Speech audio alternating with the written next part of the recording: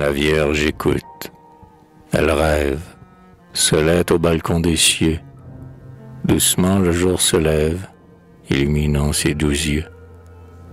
Tout semé de rayons roses, le ciel s'éclaire, et soudain, la terre, au milieu des roses, apparaît comme un jardin.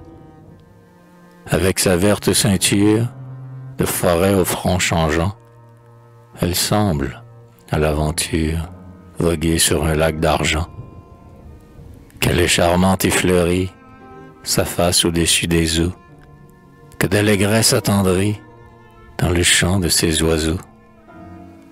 La Vierge rêve, elle admire la parure des prévers, en ses yeux divins se mire la fraîcheur de l'univers.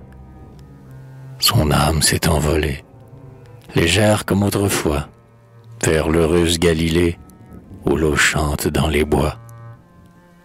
Elle a connu cette aurore quand elle était parmi nous.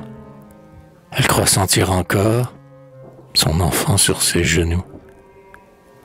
À quoi bon le cœur des anges, le paradis et sa cour, puisque Jésus dans ses langes lui sourit avec amour.